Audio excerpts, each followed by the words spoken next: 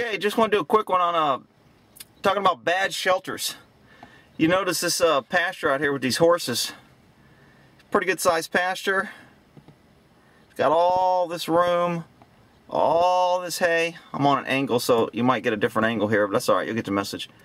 All this room. The water, not too close to the fence, kind of out and open. That's good.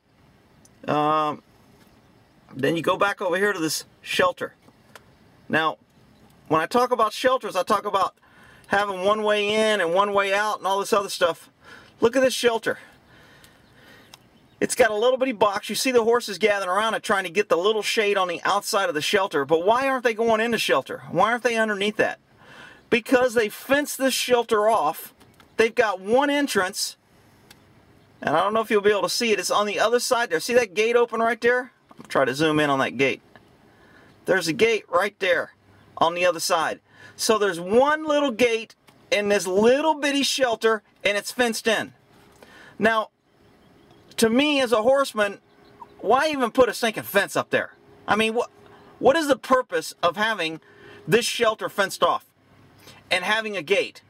Is it so you could close it to keep horses out? Is it so you could keep one horse in there and only have one horse have shade?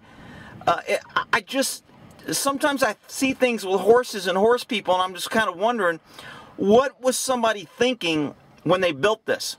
Because they definitely were not thinking of the horse.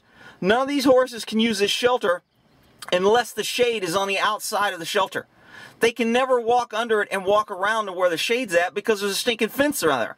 A fence that does nothing, that only keeps horses out of the shelter, and it's got a stinking gate on the other side that I just don't get why there's a gate on a stinking shelter. So you got all these horses in open pasture with no shelter. Somebody took the time to build some shelter. There's shade that the horses could use, and they can't use it because the person that built it put a fence around it and put a gate on it. I, I don't get it. Uh, to me, these things frustrate me because I see these poor horses when it gets 100 and something degrees out here. They're standing in the hot sun and they're like trying to all crowd into one little corner of a little bit of shade because they can't get in there. And none of them's going to feel comfortable enough to go through that little gate and get trapped. So they don't use the shelter. And you would think, this has been here for years, you would think as a horse person, if I see my horses not using it, I would think maybe I ought to change it. Maybe I ought to do something different and make it better. Maybe I've done something to where the horses don't like to go in there. But you know, you got you got all these people, and I don't know these people. I don't know what they're thinking. But I guarantee you, I've seen other people's other barns say, "Stupid horses." They could walk in there and walk under the shade, and they're just too stupid to do it. these are the stupid humans that I'm always talking about. That you know have owned horses their whole lives, and uh, continue to repeat the stupidity. So I see these guys every day. I've been wanting to videotape this and kind of show what a bad shelter is and how it doesn't work and it doesn't even help horses.